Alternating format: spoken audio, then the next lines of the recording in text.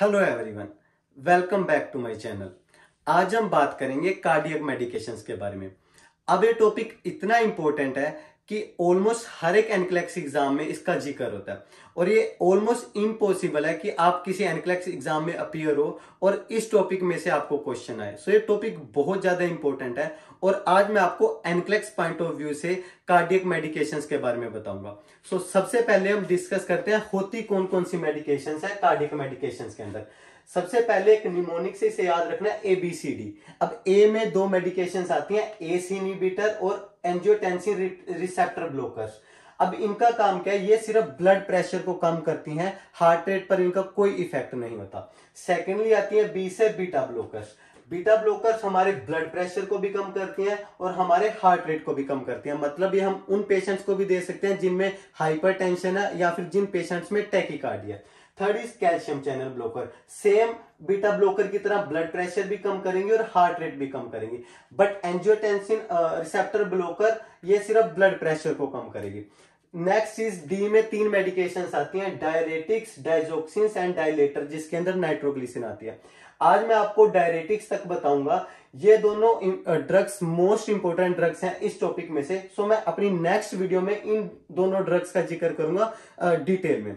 सो so, सबसे पहले अभी हम बात करते हैं एस इनिबिटर्स के बारे में और आप्स के बारे में। अब एस इनिबिटर को हमने कैसे याद रखना है? प्रिल से। अब कोई किसी भी ड्रग के पीछे प्रिल लगा हुआ एनाप्रिल कैप्टाप्रिल मतलब प्रिल लगा हुआ दैट इज़ एस इनिबिटर और आप्स को हमें कैसे याद रखना है? एंजियोटेंसिन रिसेप्टर ब्लॉकर्स को हमें कैसे याद रखना है? सार्टन लो सार्टन टेलमी सार्टन, किसी भी ड्रग के पीछे सार्टन लगा हुआ है दैट इज़ आप्स और किसी भी ड्रग के पीछे प्रिल लगा हुआ है दैट इज़ एस अब एस क्या है? एंजियोटेंसिन कन्वर्टिंग एंजाइम इनहिबिटर अब इस ड्रग का मैकेनिज्म ऑफ़ एक्शन समझने से पहले हम पहले डिस्कस करते हैं हमारी बॉडी में जर्नली ब्लड प्रेशर रेगुलेशन कैसे होती है। फॉर एग्ज़ाम्पल किसी रीजन की वजह से मेरा ब्लड प्रेशर कम होने लग गया, मेरा, मेरी बॉडी उसे कैसे मेंटेन करेगी? फॉर एग्ज़ाम्पल मेरा एक्सीडेंट हुआ एक्सीडेंट की वजह से ट्रोमा हुआ, ट्रोमा में बहुत ज़्यादा ब्लीडिंग होगी। या फिर डिहाइड्रेशन की वजह से मेरा ब्लड प्रेशर बहुत ज़्यादा कम होने लग गया तो मेरी बॉडी उसे कैसे मैनेज करेगी? सबसे पहले, जैसे ही हमारा ब्लड प्रेशर कम होता है, अब अगर ब्लड प्रेशर कम होगा तो हमारे हर एक ऑर्गन के पास वो ब्लड उतने प्रेशर के साथ नहीं जा पाएगा। तो किडनी भी उनमें से एक है। जैसे ही किडनी के पास कम प्रेशर से ब्लड आएगा तो किडनी क्या करती है? एक एंजाइम सिक्रीट करती है दैट इज़ रेनिन अब रेनिन लीवर के पास जाता है ब्लड सर्कुलेशन के थ्रू लीवर एक एंजाइम पहले से ही सिक्रीट करके रखता है that is angiotensinogen renin angiotensinogen को कन्वर्ट कर देती है एंजियोटेंसिन वन में. अब एंजियोटेंसिन वन जो है दैट इज़ इनएक्टिवेट फॉर्म अभी तक ये कोई काम नहीं कर रहा. बट एंजियोटेंसिन वन ब्लड के थ्रू हमारे लंग्स के पास जाएगा, जहाँ पर एक एंजाइम है that is ACE angiotensin converting enzyme अब ये जो एस है, ये एंजियोटेंसिन वन को कन्वर्ट कर देगा एंजियोटेंसिन टू में. That is the real activate form जैसे ही एंजियोटेंसिन टू हमारा बनेगा तो हमारी बॉडी में कुछ चेंजेस आते हैं. सबसे पहले एंजियोटेंसिन टू हमारे सिंपथेटिक नर्वस सिस्टम को एक्टिवेट करता है. जब भी हमारा सिंपथेटिक नर्वस सिस्टम एक्टिवेट होता है तो हमारा हार्ट रेट इंक्रीज हो जाता है, हमारी ब्लड प्रेशर कंस्ट्रिक्ट हो जाती है. अभी आप एक एग्जांपल लीजिए, एक पाइप है। अब पाइप को अगर मैं आगे से दबाऊँगा कंस्ट्रिक्ट करूँगा तो पानी ज़्यादा प्रेशर के साथ जाता है। तो जैसे ही हमारी ब्लड प्रेशर कंस्ट्रिक्ट होंगी तो हमारा ब्लड प्रेशर इंक्रीज होने लग जाएगा। Secondly synthetic nervous system activation से क्या होता है? हमारा हार्ट रेट बढ़ने लग जाता है। मतलब अब ज़्यादा हार्ट पंप कर रहा है ब्लड में वेसल्स में ब्लड ज़्यादा जाएगा। तो ये तो हो गया सिंथेटिक नर्वस सिस्टम के काम। दूसरा एंजियोटेंसिन टू क्या करेगा? हमारे एल्ड्रोस्ट्रियन का लेवल बढ़ाने लग जाता है। जैसे ही बॉडी में एल्ड्रोस्ट्रियन का लेवल बढ़ेगा तो हमारी बॉडी में सोडियम रिटेन रहने लग जाता है।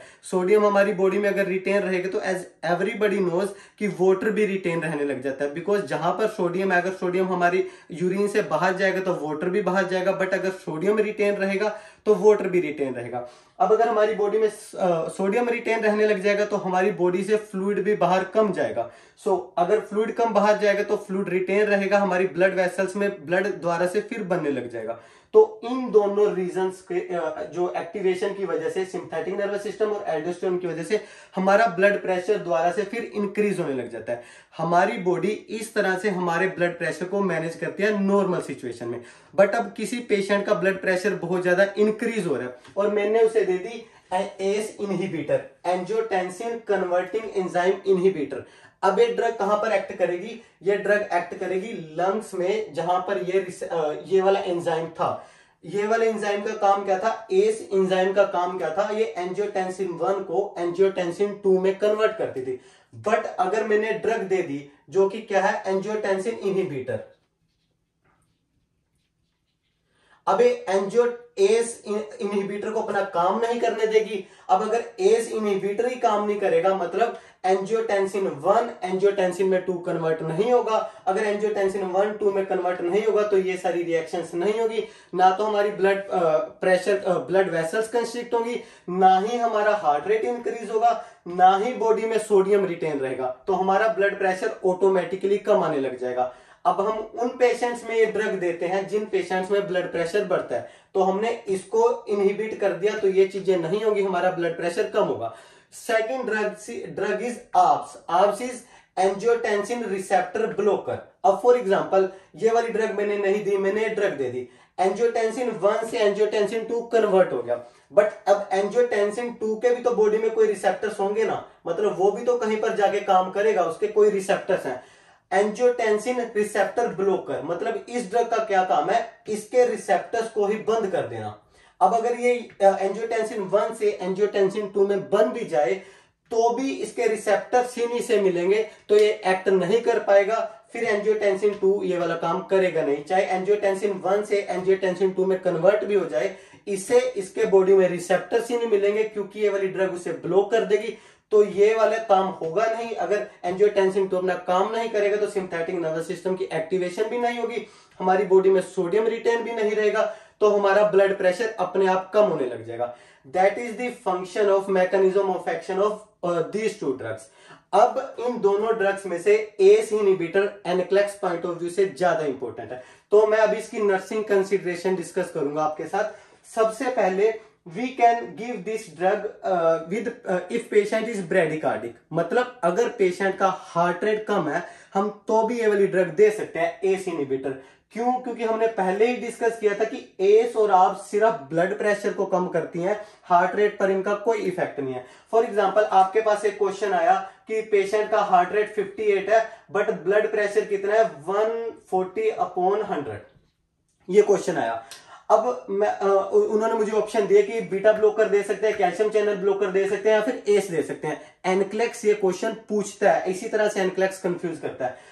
अब अगर मैं पेशेंट को बीटा ब्लॉकर दूँगा, मैंने पढ़ा कि बीटा ब्लॉकर तो हमारा हार्ट रेट कम करती है। ब्लड प्रेशर तो ज़रूर कम होगा, लेकिन पेशेंट का हार्ट रेट भी 50 45 पर आ जाएगा तो पेशेंट शोक की कंडीशन में जा सकता है। ना ही इस कंडीशन में मैं कैल्शियम चैनल ब्लॉकर दे सकता हूँ तो मैं कौन सी ड्रग दूँगा? दैट इज़ एस इनिबिटर या फिर आप्स क्योंकि ये सिर्फ़ ब्लड प्रेशर को कम करते हैं, हमारे हार्ट रेट का इन पर कोई इफ़ेक्ट नहीं होता। So first thing is we can give this drug even patient is bradycardic secondly इसका साइड इफ़ेक्ट क्या है? ये हमारी रिटेन करती है पोटेशियम को।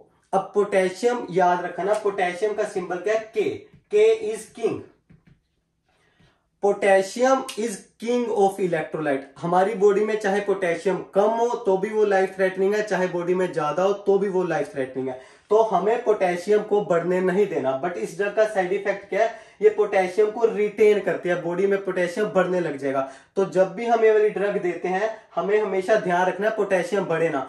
और एक ये ड्रग कॉन्ट्रा इंडिकेटेड होती है स्पायरेनोलैक्टोन के साथ। अब स्पायरेनोलैक्टोन क्या है? ये पोटेशियम स्पेरिंग डायरेटिक है। मतलब एक तो वो वाली ड्रग भी पोटेशियम को बचा के रखेगी बॉडी से बाहर नहीं जाने देगी। दूसरा, ये वाली ड्रग भी पोटेशियम को रिटेन करेगी तो हमारी बॉडी में पोटेशियम बहुत ज़्यादा बढ़ सकता है। तो एस इनिबिटर हमेशा कॉन्ट्रा इंडिकेटेड होते हैं पोटेशियम स्पेरिंग डायरेटिक्स के साथ। और दूसरा, अगर ये पोटेशियम रिटेन करती है तो हम पोटेशियम रिच फ़ूड कभी भी नहीं देंगे। मैं आपको एक लिस्ट मेंशन कर दूँगा डिस्क्रिप्शन में। मेक श्योर sure आप उस लिस्ट को देखें पोटेशियम रिच फ़ूड कौन कौन से हैं जो एनक्लेक्स में मेनली आते हैं। तो हम पोटेशियम रिच फ़ूड भी नहीं देंगे। थर्डली हम पेशेंट को सोल्ट सब्सटीट्यूट नहीं देंगे। एवरीबडी नोज़ कि हमारा जो सोल्ट है, उसमें सोडियम बहुत ज़्यादा होता है। और हम जिन पेशेंट का ब्लड प्रेशर बढ़ता है, उन्हें सोडियम तो देते नहीं है। क्या हम इन्हें सोल्ट सब्सटीट्यूट दे सकते हैं? अब सोल्ट सब्सटीट्यूट क्या होता है? सोडियम के बिना कोई नमक बना हुआ। तो हम जिन पेशेंट को ये ड्रग जारी होती है, उन्हें हम सोल्ट सब्सिट्यूट नहीं देते। क्यों? क्योंकि सोल्ट सब्सिट्यूट में भी पोटेशियम होता है। मेक श्योर sure आप इस पॉइंट को नोट करें, क्योंकि ये भी आपका एग्जामिनर ज़रूर पूछ सकता है आपसे। तो हम ना तो पोटेशियम रिच फ़ूड देंगे, ना ही सोल्ट सब्सिट्यूट देंगे। सोल्ट तो सभी को पता है ब्लड प्रेशर में नहीं देते बट अगर ये ड्रग जा रही है तो हम सोल्ट सब्सिट्यूट में नहीं देंगे, क्योंकि उसमें पोटेशियम होता है। नेक्स्ट चीज़ अगर हमारा पोटेशियम बढ़ गया, हमें कैसे पता चलेगा? एक तो हमारी ईसीजी में पीक टी वेव होगी। टी वेव बहुत बड़ी होगी। सेकेंडली एस टी एलिवेशन होगी। तो ये दोनों आ, हमारे साइंस बताते हैं कि हमारी बॉडी में पोटेशियम बढ़ने लग गया ईसीजी से पता चलता है। Next are the complication of this drug सबसे पहले एंजियोडीमा होता है। Angioedema is generally allergic reaction की वजह से एडीमा हो जाता है।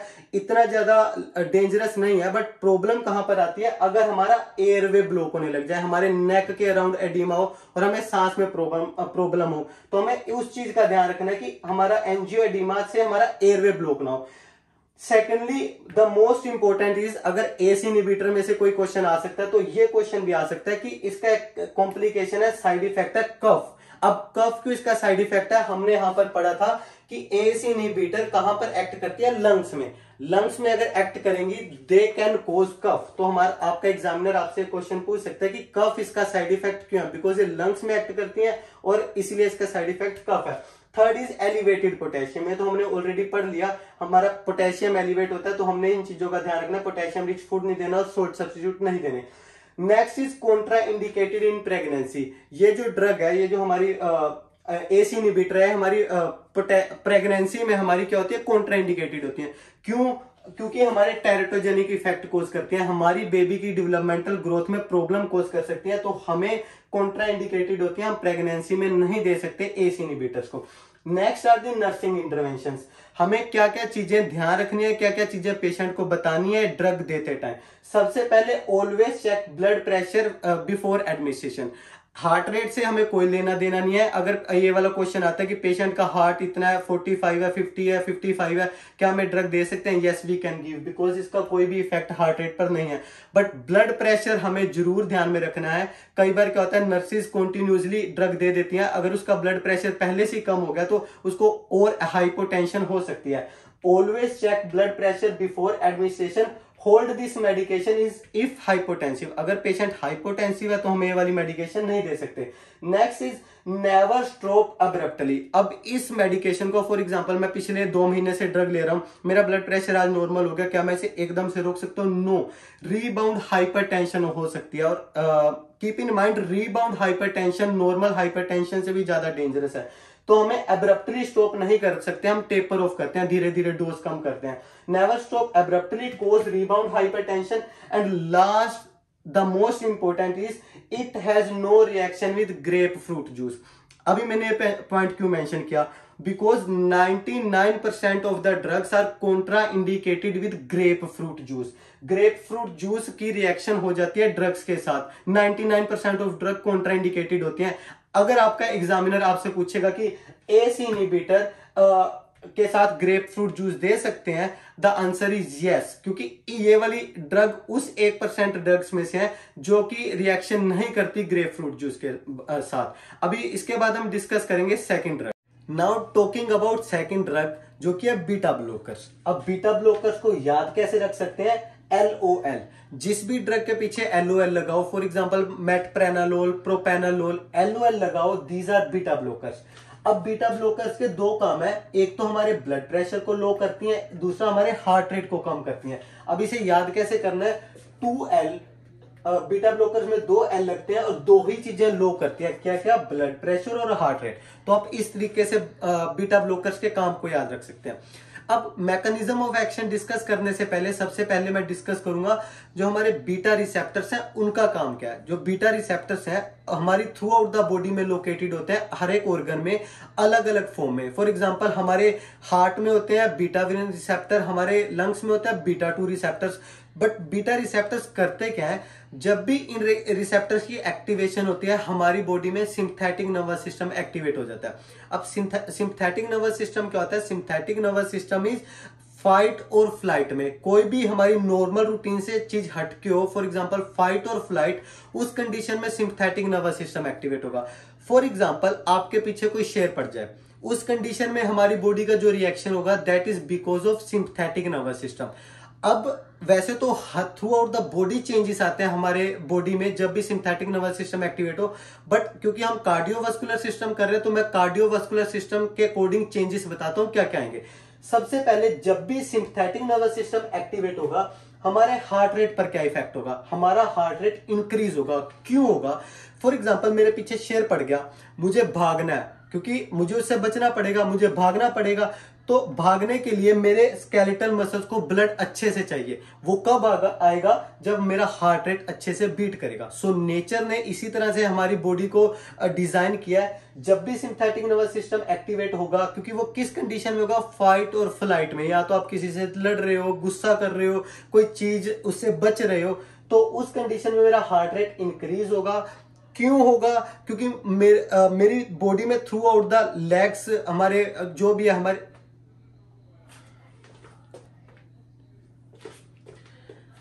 क्यों होगा? क्योंकि मेरी बॉडी को, अगर मेरे लोअर ऑर्गन्स को अच्छे से ब्लड जाएगा, तभी तो मैं उस कंडीशन से स्केप कर पाऊँगा। सेकेंडली क्या होता है? जब भी सिंथेटिक नर्वस सिस्टम एक्टिवेट होता है, मेरी ब्लड वेसल्स पर क्या फ़र्क पड़ेगा? ब्लड वेसल कंस्ट्रिक्ट होंगी। अब ये क्यों होगी? एक तो मेरी बॉडी को अच्छे से ब्लड चाहिए। दूसरा ब्लड पूरे प्रेशर के साथ चाहिए। सो दैट ब्लड पूरी विलोसिटी के साथ मेरी बॉडी में थ्रू आउट द ट्रेवल कर पाए। दूसरा, हमारी ब्लड वेसल कंस्ट्रिक्ट होंगी। अब ये क्यों कंस्ट्रक्ट होंगी? एक तो मेरी बॉडी को अच्छे से ब्लड चाहिए तो हार्ट रेट इंक्रीज होगा। दूसरा ब्लड वेसल कंस्ट्रिक्ट होगी, ताकि ब्लड पूरी विलोसिटी के साथ, पूरी स्पीड के साथ मेरे ऑर्गन्स में ट्रेवल करे। सो क्योंकि मेरी मेटाबॉलिक मेरी ऑक्सीजन डिमांड बहुत ज़्यादा इंक्रीज हो जाएगी मेरी बॉडी की, उसको कंप्लीट करने के लिए हार्ट रेट भी इंक्रीज होगा ब्लड वेसल भी कंस्ट्रिक्ट होगी। थर्ड हमारे लंग्स पर क्या इफ़ेक्ट होंगे? जब भी बीटा रिसेप्टर एक्टिवेट होंगे। मेरी ब्रोंको डायलेशन हो जाएगी जो मेरा ब्रोंकस है वो डायलेट हो जाएगा। अब ये क्यों होगा? क्योंकि मैं लड़ रहा हूँ मैं भाग रहा हूँ अब मेरी बॉडी को ऑक्सीजन ज़्यादा चाहिए। अगर मेरा ब्रोंकस डायलेट होगा तभी तो मैं अच्छे से ऑक्सीजन ले पाऊँगा तो और अपनी बॉडी की जो ऑक्सीजन डिमांड है पूरी कर पाऊँगा। सो so, वैसे तो और भी चेंजेस आते हैं but we are dealing about हम कार्डियोवास्कुलर सिस्टम के बारे में बात कर रहे हैं तो मैं अभी इनके बारे में डिस्कस करूँगा। उसके बाद ये तो हो गए बीटा रिसेप्टर के काम, जो यूजली सिंथेटिक नर्वस सिस्टम की एक्टिवेशन होती है तो बीटा रिसेप्टर करता है। But we are talking about beta blockers हम कोई ऐसी ड्रग्स दे रहे हैं, जो बीटा रिसेप्टर को ब्लॉक कर दे सो so दैट उसका काम ना हो पाए। अब ऑब्वियसली क्योंकि हम नॉर्मल मैकेनिज्म ऑफ़ एक्शन समझ चुके हैं बीटा रिसेप्टर के, जब ये ब्लॉक हो जाएँगे तो सिंथेटिक नर्वस सिस्टम की एक्टिविटी कम हो जाएगी, ये काम नहीं कर पाएगा। अगर ये काम नहीं कर पाएगा तो जो हमारा बहुत ज़्यादा हार्ट रेट बढ़ा हुआ था जो 130, 140, 150 था अब वो कम हो जाएगा। क्योंकि अब हार्ट रेट को कम करती है वो कैसे करती है? सिंथेटिक नर्वस सिस्टम को ब्लॉक करके। सेकेंडली जो मेरी ब्लड वेसल बहुत ज़्यादा कंस्ट्रिक्ट हुई पड़ी है अब सिंथेटिक नर्वस सिस्टम काम नहीं कर पाएगा तो मेरी ब्लड वेसल भी क्या हो जाएँगी? डायलेट हो जाएँगी। तो जिन पेशेंट का ब्लड प्रेशर बढ़ता है कंस्ट्रिक्शन की वजह से वो भी अब कम होने लग जाएगा। बट मेन फंडा क्या है? अब ये ड्रग्स कॉन्ट्रा इंडिकेटेड होती हैं अस्थमा और सीओपीडी में। क्यों? क्योंकि जब बीटा हमारा सिंथेटिक नर्वस सिस्टम ब्लॉक हो जाएगा, अगर ये काम नहीं कर पाएगा तो ब्रोंको कंस्ट्रिक्शन हो जाएगी। मेरा जो एयरवे है, वो कंस्ट्रिक्ट हो जाएगा। यूजली इतना ज़्यादा कंस्ट्रिक्ट नहीं होता, मुझे कोई फ़र्क नहीं पड़ेगा बट कॉन्ट्रा इंडिकेटेड है अस्थमा और सीओपीडी में, क्योंकि उनमें ऑलरेडी एयर ट्रैपिंग होती है ऑलरेडी उनका जो ब्रोंकस है, वो कंस्ट्रिक्टेड होता है। अगर मैं उन लोगों को बीटा ब्लॉकर दे दूँगा, उनमें तो बिल्कुल ही हमारा जो ब्रोंकस है, वो क्या हो जाएगा? कंस्ट्रिक्ट हो जाएगा पेशेंट सांस ही नहीं ले पाएगा। तो ये ड्रग कॉन्ट्राइंडिकेटेड होती है अस्थमा और हमारा सीओपीडी में।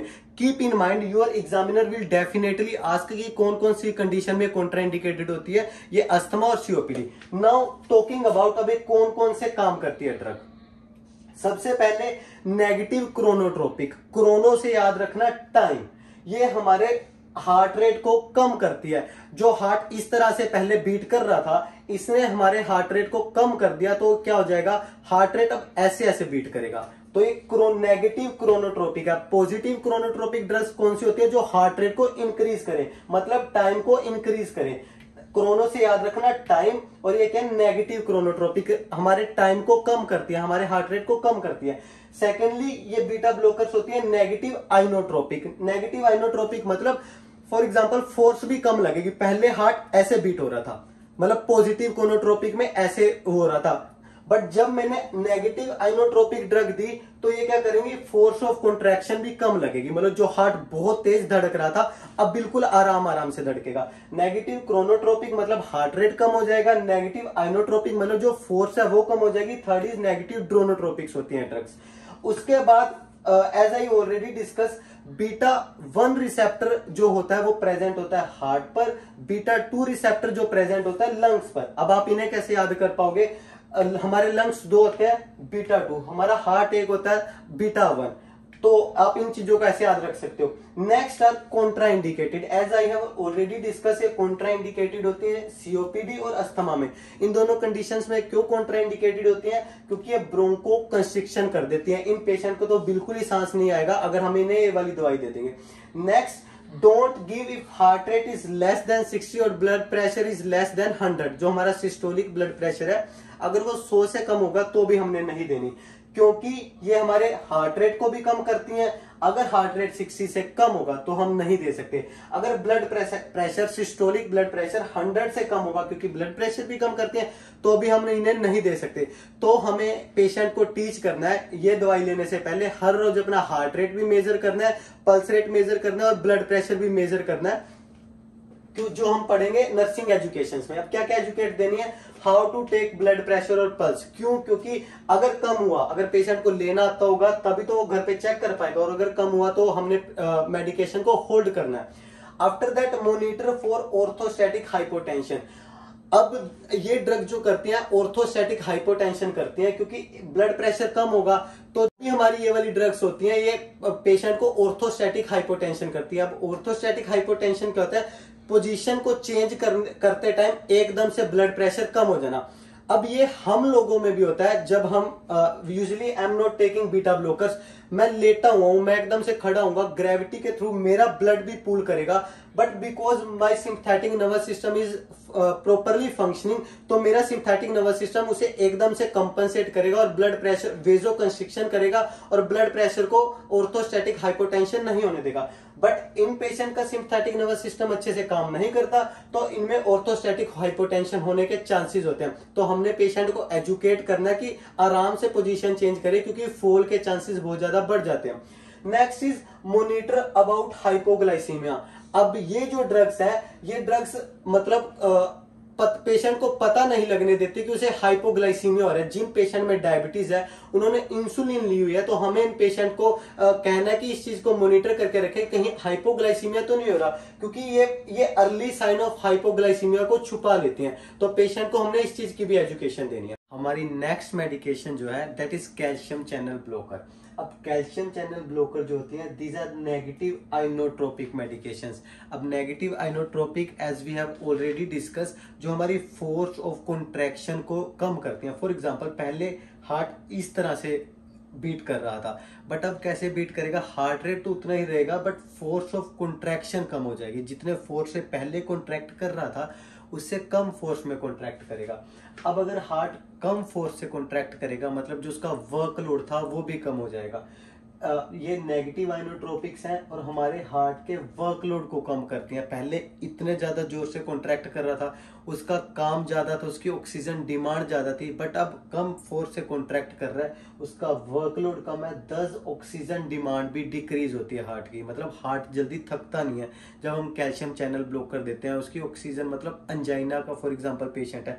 अंजाइना में क्या है? उसकी ऑक्सीजन डिमांड मिल, उतनी जितनी ज़्यादा डिमांड है, उतनी पूरी नहीं हो पा रही। तो उस कंडीशन में अगर कैल्शियम चैनल ब्लॉक कर देंगे तो हार्ट का जो वर्कलोड है, वो कम होगा। ऑक्सीजन डिमांड जो कि कम हो जाएगी तो अंजाइना से पेशेंट बच सकता है। पेशेंट को मायोकार्डियल इन्फेक्शन नहीं होगा। अब दूसरा काम इसका क्या है? वेजो डायलेटर जो हमारी ब्लड वेसल्स को डायलेट करती है। अगेन देखिए हार्ट रेट कम होगा। क्यों? क्योंकि these are inotropic negative inotropic medications और वेजो डायलेटर है तो इस वजह से हमारा ब्लड प्रेशर कम होगा।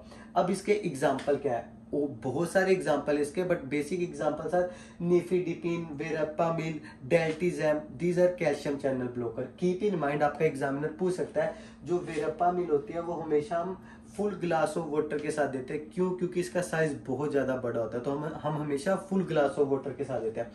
आफ्टर दैट इंडिकेशन क्या? कैल्शियम चैनल ब्लॉकर्स की।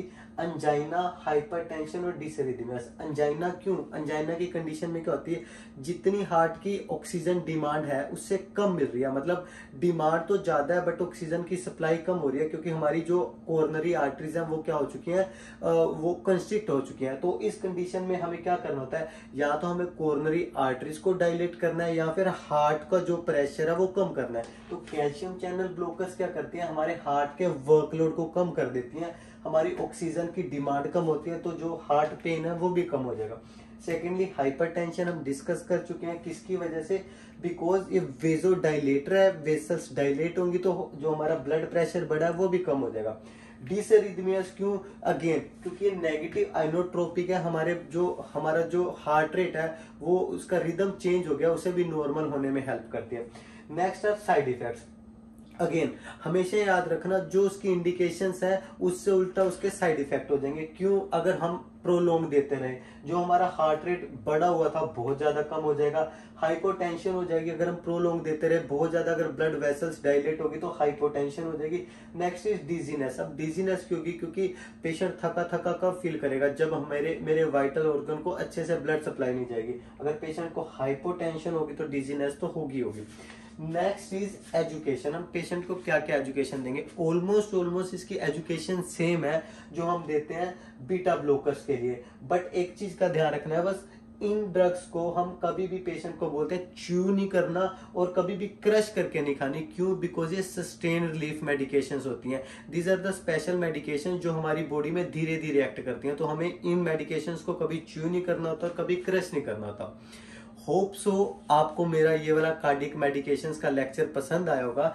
अभी जो तीन वैसे तो मैंने सोचा था मैं डायरेटिक्स भी आज कवर करूँगा बट वीडियो बहुत ज़्यादा लंबी होती जा रही है। सो so, जो नेक्स्ट टॉपिक है नेक्स्ट वीडियो होगी उसमें मैं डायरेटिक्स डायजोक्सिन और डायलेटर कवर करूँगा।